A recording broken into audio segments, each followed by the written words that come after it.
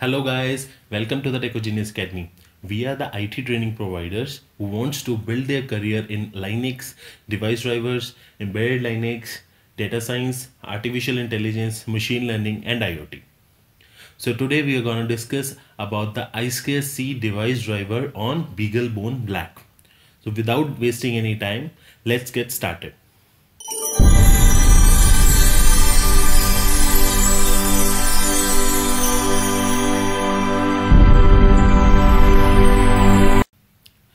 So today's uh, topic is uh, I2C device driver. So what we're gonna discuss here, uh, we'll just uh, go and see like what is the overview and the functionality of I2C and then uh, we will jump into that I2C device driver structure and subsystem and we will see there what are the APIs call are there to register the driver and to communicate with the low level drivers. Then probably we'll go and write the I2C driver and the application in the user space for the BeagleBone Black. And last we will deploy the code the device driver and the application on BeagleBone Black and we will just try to test the I2C device driver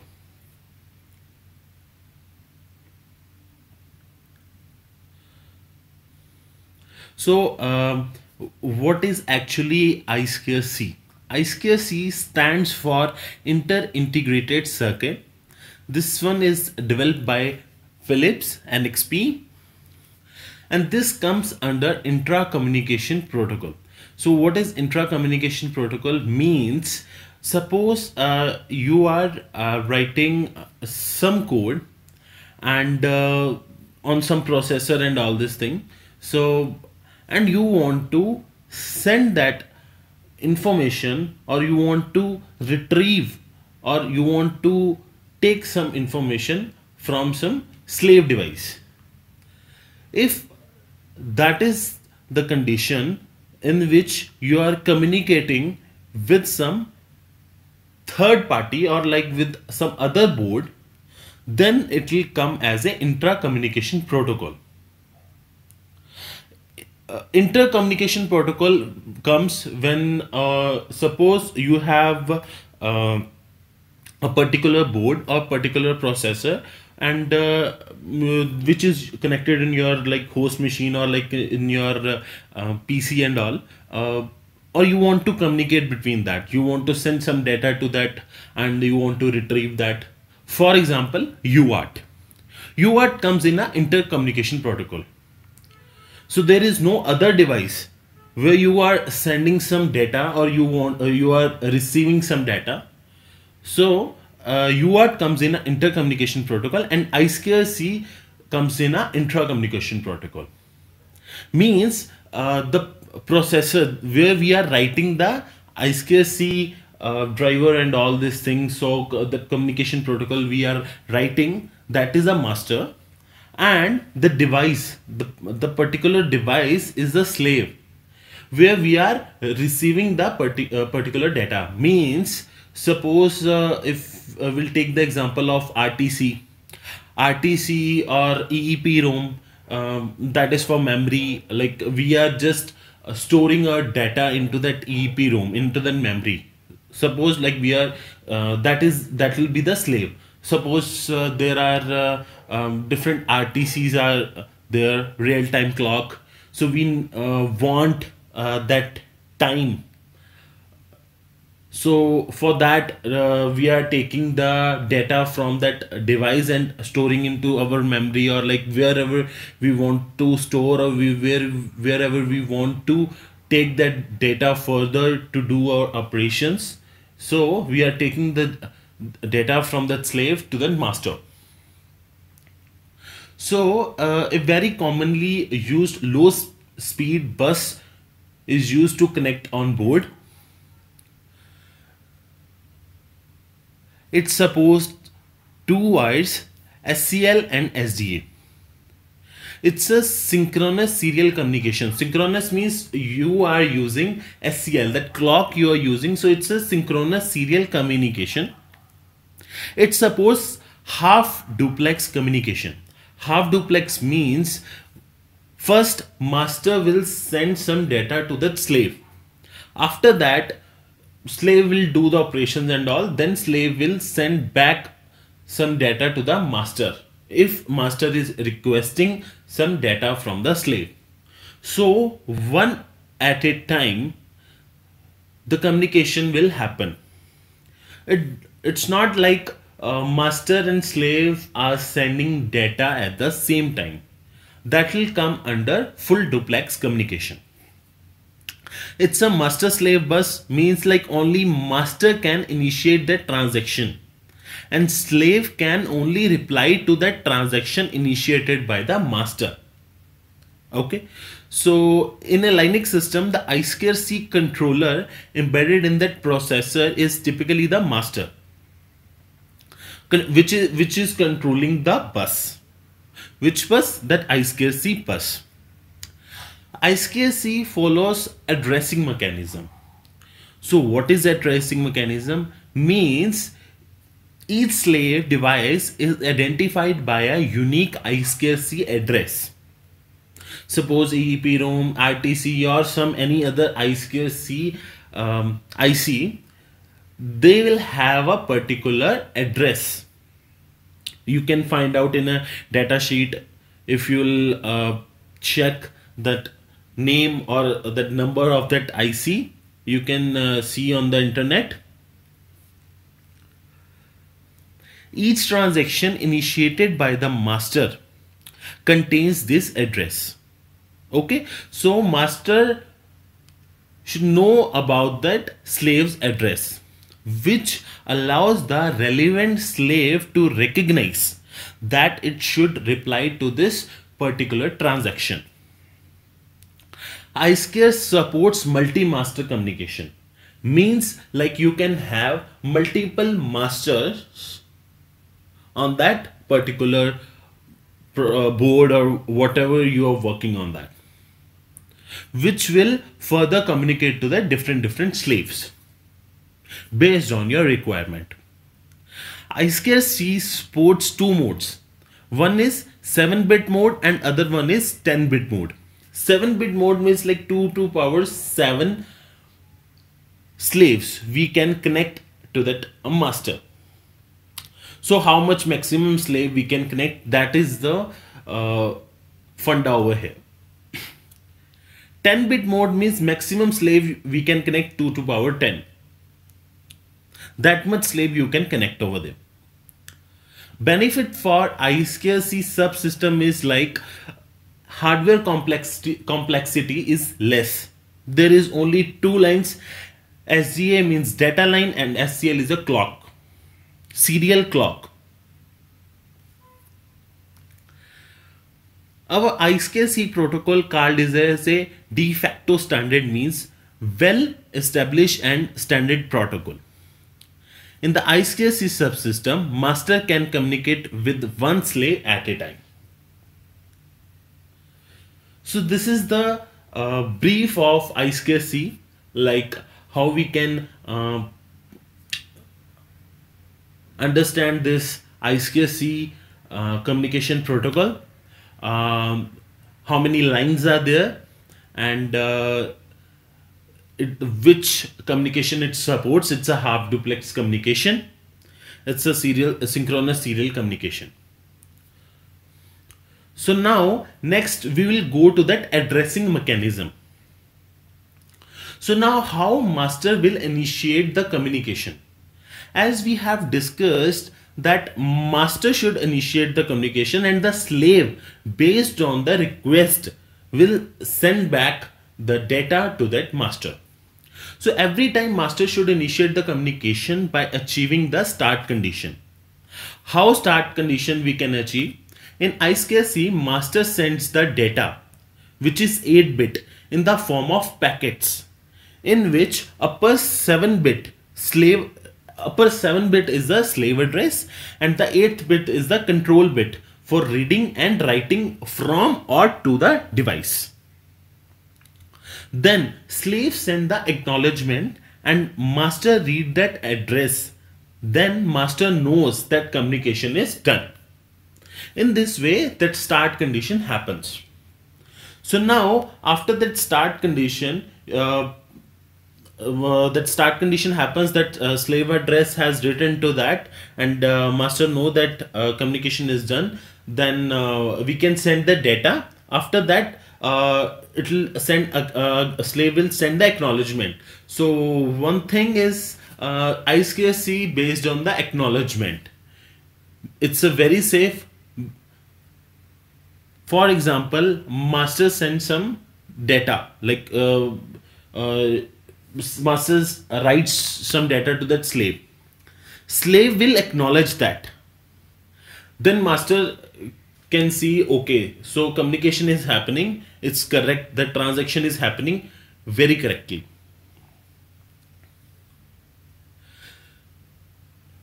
In a master write like how the transaction will happen. First start condition will happen. Then after that slave uh, will write to that like we will just write to that uh, slave. After that acknowledgement happen from that slave side then data we will write to that slave. Slave will acknowledge that. And again if there is some data we can send that data to that slave. And then again slave will send the acknowledgement. So in this way uh, master will know about that communication is happening perfectly. So now each I2C command initiated by the master device start with the start condition and ends with the stop condition.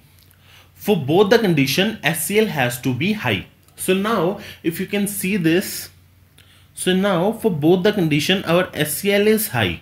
This is the start condition and this is the stop condition.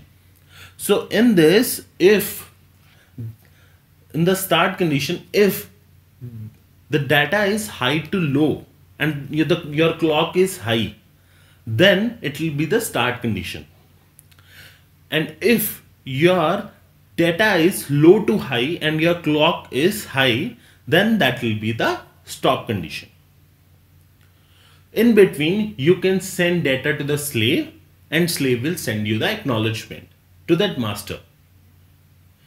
We can have the repeated start condition also when uh, we are sending we are writing some data to that slave and all and uh, we got the data to the master and all. Again we need to uh, start another uh, transaction that we can also do by initiating the repeated start condition. Okay? So next we will go that how we can do that data transfer. So as I have explained that uh, S uh, is a start condition, then slave address, then uh, with along with read write bit, uh, then acknowledgement will happen. Uh, again, that data will uh, we can transfer to that slave, and slave will send you the acknowledgement. The as you can see in this diagram, each master must generate its own clock signal and the data can change only when the clock is low. For successful bus arbitration, a synchronized clock is needed. Once a master pulls the clock low, it stays low until all the master puts the clock into high state. Similarly, the clock is in high state until the first master pulls it low. This way, by observing the SCL signal, master device can synchronize their clocks. Each slave device on the bus should have a unique 7-bit address. The communication start with the start condition followed by the 7th bit slave address and the data direction bit. If the, this bit is 0 then the master will write to that slave device. Otherwise if the data direction bit is 1 then master will read from that slave device. After the slave address and the data direction is sent, master can continue with reading or writing. The communication is ended with a stop condition which also signals that the I2C bus is free. If the master needs to communicate with other slaves, it can generate a repeated start condition with another slave and address without generation stop condition. as we have discussed earlier. If the master only wires to the slave device, then the data transfer direction is not changed. And if the master only needs to read from the slave device, then it simply sends the I2C address with the read write bit set to read. After this, the master device starts reading the data. Sometimes the master needs to write some data and then read from the slave device. In such cases, it must first write to the slave device, changing the data transfer direction and then read the device. This means sending the I2C address with the read write bit is set to write and then sending some additional data like register address or other others. After writing is finished, the master device generate repeated start condition and send the I2C address with the uh, read or write bit set to read. Like you want to set read or write, so it uh, depends on you uh, how you want the data. And after this, the data transfer direction is changed and uh, the master device starts reading the data. So this is the uh, full description of uh, and the overview and the functionality of I2C that how I2C works. So now we will just jump into the I2C device driver structure. So what is that subsystem, how it will uh, communicate and all this thing. So now if you can uh, see here in this diagram, uh, the top level, this top level, this one is where user space application and the I2C user mode driver is written. This is a top level. It's a user space. Okay. And uh, this middle one is a, a device driver layer where we are writing our driver.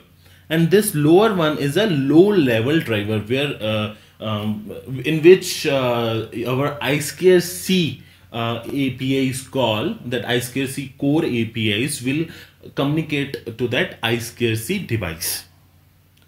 And this is connected to that I2C bus. So like all the bus subsystem, the I2C subsystem is responsible for providing an API to implement I2C controller driver. This is the I2C controller driver. So um, I'll just explain you like uh, what is this all about uh, one by one um, and it will provide an API to implement I2C driver in the kernel space. So this will be your kernel space, that middle one, and uh, providing an API to implement I2C device, device driver in user space. So this one uh, is a user space, and the core of the I2C uh, subsystem is located in uh, driver slash I2C, which will be here. The I2C controller driver are located in uh, driver slash I2C slash buses. You can see this uh, if you can uh, go to this path. The I2C device driver are located throughout the drivers depending on the type of that device. Okay, so uh, what will happen uh, in this all structure? So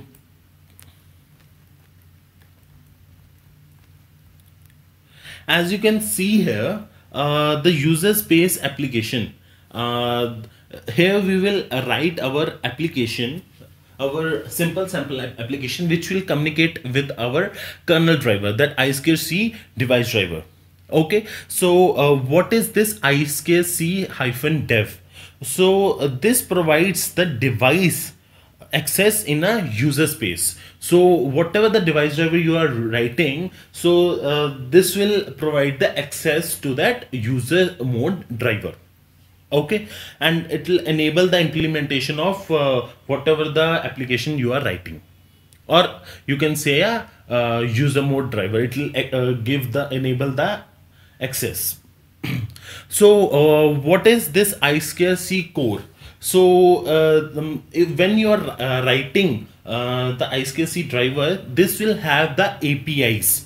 So uh, which uh, like um, whatever that uh, I2C device, device driver will have, this will have the all the APIs over here. And it is ba basically a, controller. It's a it, it's a control specific I2C host controller so in, in this I2C, uh, your adapter or platform driver uh, will be there and uh, in that uh, the APIs uh, are there which will help you to communicate with the low level driver. And uh, what is this I2C device? it's basically a uh, I2C client device which which is communicated to the directly to the device uh, so which will give us the data and uh, this data will come to the I2C client driver which we are writing. Okay? So uh, when we will just uh, when when we will write the driver so uh, we will come back to this diagram and we will see like uh, how that implementation is done and how they are communicating. So uh, there are uh, um, I2C underscore read I2C underscore write uh, APIs which is uh, uh, which is in the low level driver. And we can write our kernel driver i2c device driver uh, which is we can write as a uh, my underscore uh, read and my underscore write which will be here in that this one I2C client driver okay So now, uh, how will be the structure of that device driver?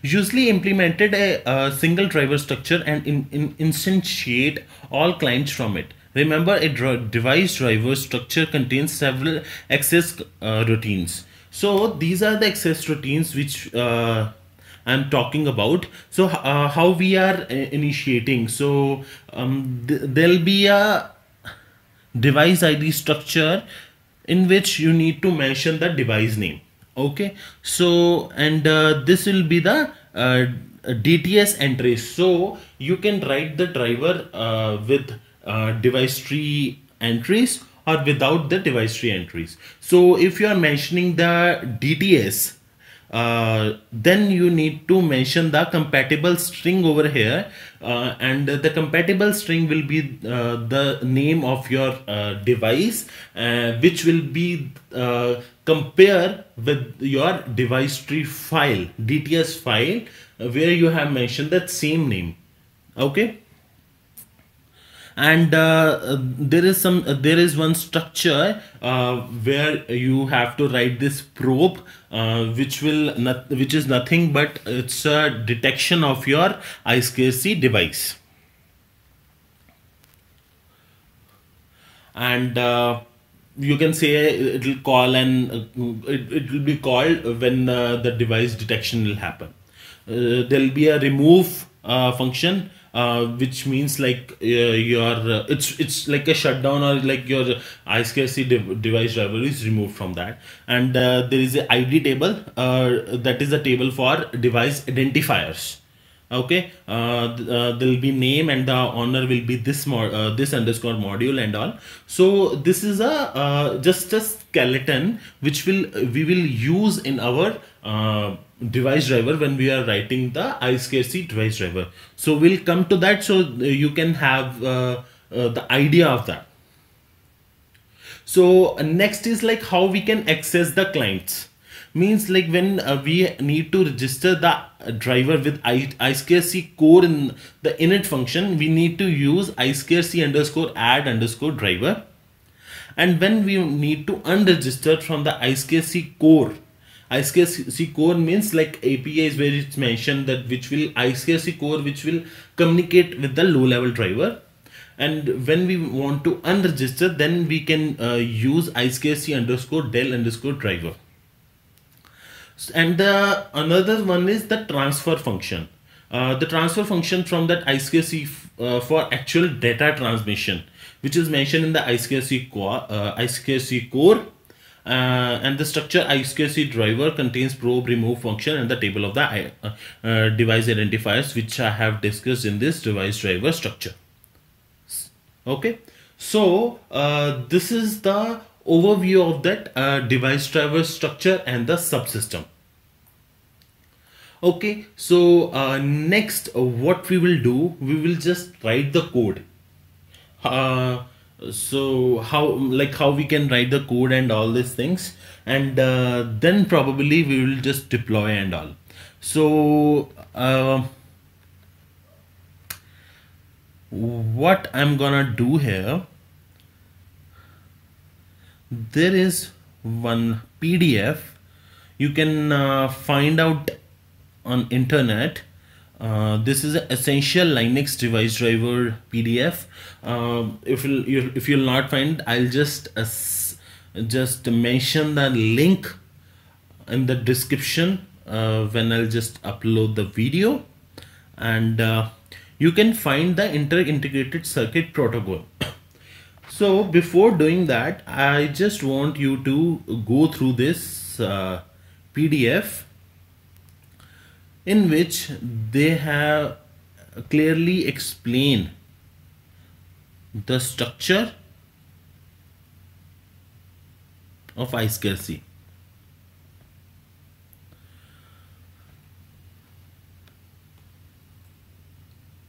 You can see here that processor that how uh, the communication will happen.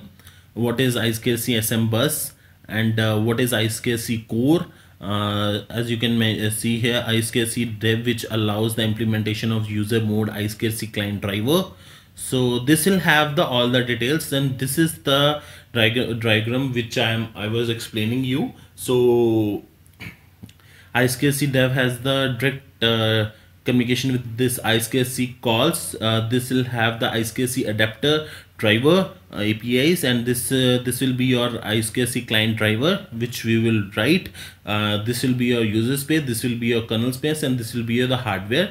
And uh, this controller driver is connected to that I2C device which will uh, on that I2C bus and which uh, will get the data or write the data to that uh, I2C device. And there are different calls which we will use. And here the transaction on that I2C bus uh, is also there. You can uh, see that uh, the sample code uh, and uh, how we can initialize the EEPROM driver uh, what will be the structure over here and the whatever th this initialization CDEV init and all these things. I have already explained you the about this uh, structure how we can add that what is a major number and minor number. So if you don't know please go to my Linux device driver videos uh, playlist so you can find out like how we can uh, register the driver and uh, how we can uh, do the initialization and all. So there'll be a, a device driver structure where uh, uh, whatever the things probe and all this detaching method we can use and how we can attach the client. So there is some another I2C core functionality to check uh, whether a particular function is supported or not. So uh, we can use this uh, uh functionality also in our code if needed. So how we can read from that EEPROM so uh, this is also mentioned here. So see they have uh, used the I2C check functionality and all this thing. So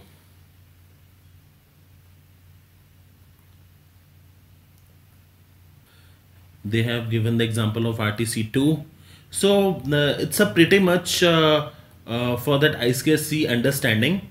So uh, what I'm gonna do next uh, in the next session we will write the driver and we will just deploy that. Because it will take uh, so much time to write the driver. I because uh, one by one I need to explain you uh, what is the functionality of that uh, device driver structure how we can initialize and um, how we can write the driver and all. So it will take time and uh, with that I need to write that application also uh, the I2C user mode driver which will communicate with our kernel space driver and uh, further it will go to that uh, hardware to uh, write or read from that I2C device.